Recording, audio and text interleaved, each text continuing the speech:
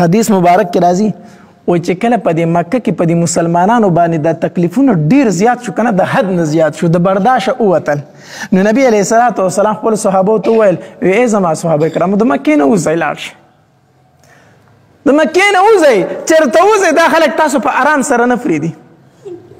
نو صحابه کرامو دا یو لسړی او پنځه خزی وي یو لسړی او پنځه خزی دا سنمونه هم دی به هر حال چې نمونه اخلم بیا ټایم پیدا کیږي نو یو لسړی او پنځه خزی دوی د مکه مکرمه نه هجرت وکړ لاړ حبشه ته حبشه ته لاړ الته کې فاتح کېدل فاتح کېدل بیا پکې دا خبره غالبا دوی د رجب په میاش کې تریو غالبا چې دا میاشت د رجب د یاد را روانه را روانه غالبا د رجب د لګي ورځ ته پاتې غالبا نو پر رجب په میاشت کې تلی وو او بیا د شوال په میاشت کې واپس رالو شوال د وړو کې اختر میاشت ویل شي د وړو کې اختر په میاشت کې بیا رالو دوی دومره وخت ته په حبشه کې وستو بیا رالو ولی ځکه الته کې دا خبر خور شو وی مکه مکرمه خلکو ایمان راوړی دی د مکه مکرمه خلکو ټول سره راوړی دی ایمان راوړی په نبی علی السلام نو دی وی چې ایمان راوړی بیا خو موږ له تکلیفونه نه راکې بیا موږ په حبشه کې څنګه خپل کلی ته ولې نزو نو چې مکه مکرمه ته واپس رااله او رانږدې شو بار د بار ته خبر ورشه چې دا خبر دروغ دی خلکو ایمان نه دی راوړی نو دغه ځکه دوی ډیر پریشانه کې مبتلا شو چې موږ د حبشه نه مرالو وسوک اوس وکړو نو بیا بعضی صحابه کرامو د بعضی کسانو پناه واغسته او بعضی پټ پټ پاتې شو نو حبشې ته دوه هجرت شوې دي اول هجرت کې یوله سړی او پنځه خزې وي یوله سړی او پنځه خزې بیا دویم هجرت هم حبشې ته شوې دویم هجرت او پاره کې تقریبا شپږ اتیا کسانو ټول شپږ اتیا کسانو دویم هجرت هم حبش نو حبشه ته دوه هجرت شوی دی د دویم هجرت کې بیا کسان لږ زیات او شپږ اتیا کسانو د کوم ډیر شه صحابه کرامو دا چې کله په مکه مکرمه کې په صحابه کرامو باندې تکلیفونه ډیر زیات شو کنه نو دوی بیا د مکه مکرمه نه هجرت وکړه لاړه حبشه ته بیا لاړه حبشه ته نو چې کله دلته کې مکه کې دا خبر خور شو چې کم مسلمانان حبشي ته تللی دي هغه بادشاه ډیر عزت کوي او آل دا وی خپل عبادت کلم کلا کوي خپ آزاد طریقې سره کوي نو دلته کې په مکه کې بیا په دوی باندې وخت نه تیرې دو نو د مکه دوه تنو د اغي یو نوم عمر ابن عاص او د دویم نوم عبد الله ابن ابي ربيعه عمر ابن عاص عبد الله ابن ربيعه دا د مکه کافرانو په مشورې سره ولېګل وی تاسو لاړ شي حبشي ته ټیک شو او الته دغه بادشاه ته خبر او چې دا کسان مونږ ته واپس کی نو دوی چې تلل د ځان سره ډېری تخپې او ډالۍ واغستې او چې څنګه حبشي ته ورسېدل کنه نو د حبشي د نجاشي بادشاه چې کم نږدې خلکو کنه د تخفي غوي ته ورکړي وزیرانو ته د تخفي ورکړي هغه په پل اعتماد کې واغستل او تاسو به بادشاه غوړې په دې خبره مطمئن کوي چې زمونږ د مرګري زمونږ سره پریدي خو چې ګورې ځان خواته یې رونه غواړي په دې خبر به تاسو زور کوئ چې نبی علیہ السلام دا مسلمانان دا دا نجاشي بادشاہ دا مسلمانان رونه غواړي ګوره چې بار د بار زموږ سره مرګري کی د دې خبرې نه یریدل چې دا مسلمانان د تمخامخ شي ولي په دې ولې یریدل ځکه هغه ته پته وا چې کو صحابه کرام نجاشي بادشاه ته مخامخ شو دا غي په جبو کې الله داسې اثر یې خې د جبیا به نجاشي بادشاه سر موچت نکی خو چې دوی خبرې وانه وري بار د بار زموږ سره سکی مرګري کی د وزیران ټول په اعتماد کې واغستل هغه ته تاسو بي بي فکر شه دغه شر به در سره لګي د وزیران رالو او نجاشي بادشاہ ته وی وی د مکې نه څه خلک را تختیدلې دی او دا دو مشران پس راغلی خپل خلک بیا نو نجاشي بادشاہ ورته وی ولی تاسو د مکې نه ولی راغلی څه چل شوی دی وی زمونږ مذهب پرې زمونږ دین پرې دی نو کوم دین ته تللی دي نو نجاشي بادشاہ ته ستا دین تم نه دی راغلی ځکه نجاشي بادشاہ په خپل عیسایو کنه وینه ستا دین ته راغلی او هم زمونږ دین پر خزان لای نه وي دین ایجاد کړي تا ته دلته فساد جوړي په حبشه کې زمونږ سره مرګري کا نجاشي بادشاہ ورته وی یاره سید مال رو واړې زه تلک تاسو نه وکم نو دا به تاسو سره مرګري کوم ای وزیرانو ته نه حضرت داوی سره راغواړي خودي سره مرګري کنه نجاشي بادشاہ له پدی غوسه ورله وی کم خلق چې راغله زما ملک ته زما سره پنا اغست دا زه دا غي موقف د اوریدونه بغیر غ تاسو سره مرګري کم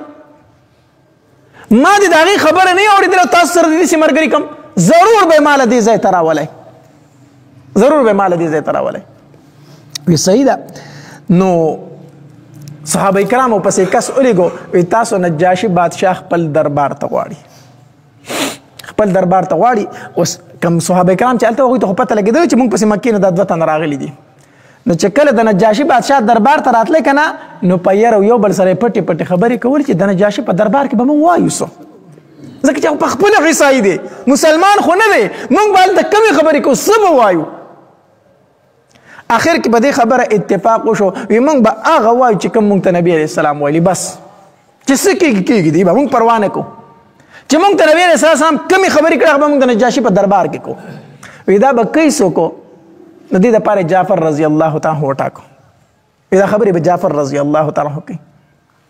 مسلمانان چې د نجاشي بادشاه دربار ته رادن نشو غیر چا پیر وزیران ناشته ټوله دغه دوه کم د مشرکین مکه چې دوه تن مشران راغلي دوی ناشتي دوی چې څنګه د نجاشي بادشاه دربار ته رادن نشو کنه په شریک وي السلام علیکم سلام ورواچ چې سلام ورواچو دوی نجاشي بادشاه ته سجده او نکړه عادت داغي دا چې هغه خپل بادشاه ته سجده کوله نو غیر چا پیر چې کوم وزیرانو په دا خبره ډیره ګرانه پریوته چې دا خو ډیر بیا ادب دي ګوره بادشاه ته سجده او نکړه نجاشي بادشاه ورته وی وی دا کومه کلمه چې تاسو وویل دا تاسو ته چا ویل چې دا وایي السلام علیکم وی دا مونږ ته زمونږ پیغمبر ویلی دی صلی الله علیه وسلم یې مونږ ته وی چې د یو بل سره میلاویږي هم په یو بل سلام اچوي او دا کلمه به الله تبارک وتعالى د طرف نه پتا سو په جنت باندې هم وي په جنت کې هم د الله د طرف نه پتا سو باندې سلام وي او په جنت کې چې مسلمانان د یو بل سره میلاویږي نو کلمه به سوي السلام علیکم اذا مونږ ته نبی علیہ السلام ویلي وی ښه بعضې روایتو کې راځي وی د وزیرانو ورته وویل چې تاسو د بادشاه ته دا سجده ولې ونه کړه او بعضې روایتو کې راځي چې د نجاشي بادشاه ته په خپله وي چې تاسو ما ته سجده ولې ونه کړه وی دا سجده خو ولې ونه کړه وی زمونږ پیغمبر مونږ ته ویلي چې د الله نه ما سوا به بل چاته سجده نه کوئ د الله نه ما سوا بل چاته به سجده دا مونږ ته زمونږ پیغمبر ویلي دي بس ویخه وی تاسو په عیسایت باندې یی جعفر رضی الله عنه ته ویل وینا ای په بت پرستی باندې وینا نو وی ویل څه غواړی چې نه په بت پرستی یې نه په عیسایت تاسو په کم مذهب یې په کم دین یې څه ویل غواړی جعفر رضی الله تعالی عنہ تقریر شروع کو ایها الملک اے بادشاہ اے بادشاه وی مونږ ډیر جاهل او نادان خلک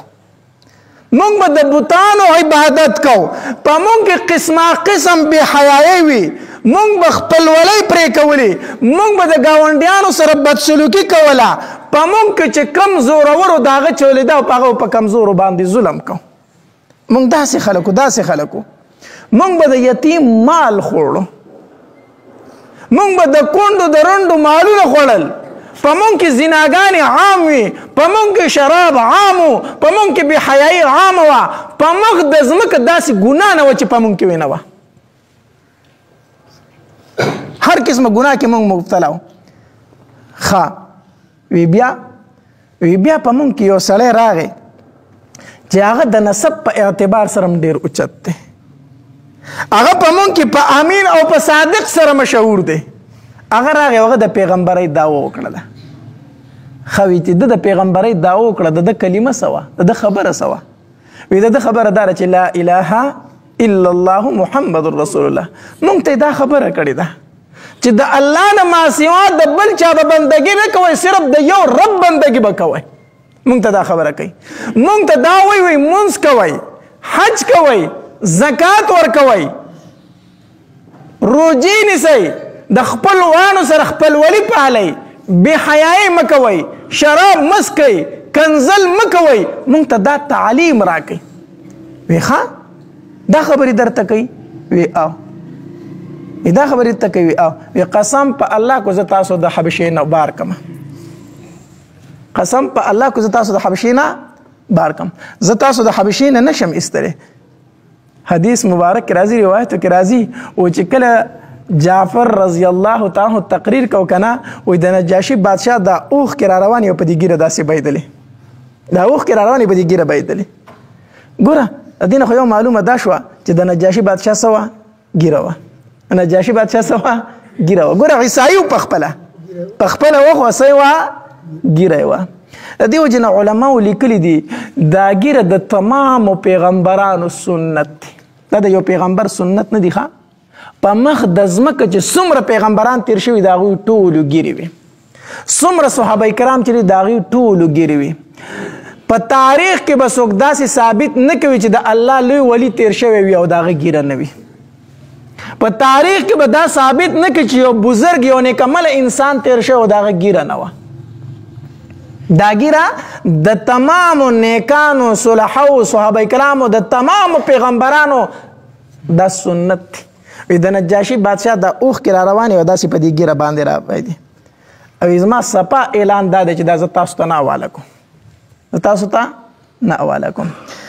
چې کله دوی د عمرو بن عاص او د عبد الله بن ربيعه ناکام شو کنه وروتل ودار سره د بادشاه سي چلو کو موږ په خپل میشن کې ناکام شو نو د عمرو بن عاص یو خبر وکړه وی قسم په الله زبر نجاشي بادشاه ته داسې خبره وکم داسې خبره کنه چې پدې کې به یوم پرې نه ټول بدل تکو ووجنی وي ټول به وجنی دی عبد الله ابن ربيعه ورته دا سم کوه دا سم کوه ځکه چې دا زمونږ رشتہ دار دي خیر د کو زمونږ نه را تختیدل دي خو زمونږ رشتہ دار دي ټول دلته ولې وجنی په دی عمر ابن عاص قسم په الله چې وجنی می پینې نو پرې دماینه وي ته هغه ته سوي دا په ما پرې ده د دې نجاشي بادشاہ لراغه وی دا کم خلک چې دلته راغلي کنه وی دوی د عیسی علی السلام متعلق چې کوم نظریه لري هغه ډیره ګوستاخه نظریه ده وی دوی د عیسی علی السلام ډیره غټه ګستاخی کوي نجاشي بادشاہ وی خاطی خو په خپل عیسی یو کنه وی ښا عیسی علی السلام متعلق دوی ګستاخی کوي او سبای بیا وروختل چې بیا وروختل بیا صحابه کرام چې راتله یریده چې وس پس وایو اوس به د عیسی علی السلام متعلق موږ ته وایو صدق په خپل عیسی دی جعفر طیار رضی الله تعالی فرمایل وی قسم په الله زبم هغه خبر د عیسی علی السلام متعلق کوم کوم چې نبی علی السلام مونږ ته کړی دا اخ کبه کوم د ځان څخه خبرې نشو کولی چرالو بیا د نجاشی بادشاہ ته پوس کوي وای د عیسی علی السلام متعلق تاسو وای عیسی علی السلام متعلق تاسو نظریه ده نو جعفر رضی الله تعالی عنہ فرمایل وی زمونږ دا نظریه ده چې هغه د الله بنده او د الله رسول دی ته دین اخوا هیڅ نه دی د الله بنده دی او د الله رښتینی پیغمبر او رسول دی دین په خوانو عقیده زمونږ نشته اوس دا خبره چې وکړه غیر چا پیر خلک داسي برن برن شو چې ها عیسی اسلام ته بندو وي دا خو ګوستاخی وکړه نجاشي بادشاہ داسې زمکه ته ټیټ شو داسې یو پر کې راوغس داسې یو زره غونته داسې وډه کې غونته راوغس او داسې اوچت شو وی قسم په الله کوم خبره چې دی وکړه کنه وی عیسی السلام دا غدي خبرې نه په اخو دومره حیثیت نور نه لري هم دک خبر ده چې د الله رښتینی پیغمبر دی عیسی علی السلام خو د الله بنده دی الله نه دی دک خبره ده خلک داسې وران وران شو چې دا دی لاسه وي نجاشي بادشاہ ته تاسو په تندو زه پويګم خو دک نظریه صحیح نظریه ده د عیسی علیه السلام متعلق بیا چې کله مدینه منوره فتح شو کنه او دوی راتلل د دی بیا د حبشې نه واپس هجرت کو مدینه منوره ته پته ولګي مسلمانان لاړ مدینه منوره ته نو دوی د حبشې نه را روان شو چې راتله دی رجاشي بادشاه ورل ډېر شه تخفي ورکړي د لارې خرچه ورلم ورکړه د لارې خرچه او خپل یو کس ورسره هم ولېګو ولېګو او نجاشي بادشاہ نه چې دوی رخصتې ده کنه وی خپل پیغمبر ته وایي چې نجاشي بادشاہ مو چې لا اله الا الله محمد رسول الله پیغه ته به خبر ورکړي دا کم قاصد سی وایو سره کنه دوی را روانو مدینه منورې ته چرالو مدینه منورې ته نبی علیہ الصلوۃ والسلام چې د حبشي دا وفد ولید کنه او دا جعفر رضی الله تعالی ولید وی نبی علیہ السلام دومره خوشاله شو چې نبی علیہ السلام د خوشحالي صحت نو داسې خپل صحابه کرامو ته خوشاله دو سخ ورته خوشاله د نبی عليه السلام چرالو نبی عليه الصلاه والسلام ته هغه کم قاصد چې وسره هغه ور سره راغو نبی عليه الصلاه والسلام ته جعفر رضی الله تعالی فرمایل وی مونږ چې راتلو کنه نو نجاشي بادشاہ وی چې خپل پیغمبر ته وایي چې نجاشي وی چې لا اله الا الله محمد رسول الله دا ورته وایي نبی اسلام چې دا خبره ووري د کنه داریک فاسد سمدستي فاسد او او دسې وکړو او دوه رکعات نفل وکړو او چې دوه رکعات نفل وکړو لاس یې چت کو وی اللهم اغفر للنجاشي الله ته بخنه وکړي نجاشي ته الله ته بخنه وکړي نجاشي ته نبی رسول الله دعا غوړي تمام صحابه کرام په سوي امين وي بیا چې کله نجاشي بادشاه وفات شو کنه نجاشي بادشاه وفات شو نو دغه په حبشه کې وفات شو الته مسلمانانو نه خټول عیسایانو نو نبی عليه السلام د غیبانه جنازه بیا کړی ده او په کوم ځای کې کړی و د مسجد نبوي نه چراوځي کنه ګیټ نمبر خورانه ير دی الته کې دوه واړه واړه مسجدونه دي یو مسجد ابوبکر دی یو مسجد عمامه دی دا د مسجد نبی سره بالکل دا ګیټ خواته دا دوه مسجدونه دي خو پنځه وخت مونږ پکې نه کېږي کو خیال خو کړی دغه دوه مسجدونه دي دا مسجد عمامه نه دی په دغ کې ځای باندې نبی علیه السلام د نجاشي بادشاه غیبانه جنازه کړې ده په دې مسجد عمامه په دې ځای باندې الته چې لاړ شي دغه مسجدونه دواړه قایم دي الته کې په دغ کې ځای باندې نبی اسلام بیا د غیبانه جنازه وکړله خو روایتو کې راځي وایي دا د نبی اسلام معجزه وه چې د نجاشي دا لاش نبی علیه السلام ته مخې ته حاضر کړی شوی ازر کړه شو نبی رسول الله په جنازه وکړه ځکه وی الته کې مسلمانان نشته دي نبی رسول الله فرمایل په پاسه په خپل رور نجاشي باندې سو کوي جنازه وکي نو حبشي ته دوه هجرت د مسلمانانو شوې دي سو هجرت دوه هجرت شوې دي حبشي ته د مسلمانانو او بیا پس د اغه مدینه منورې ته راغلي دي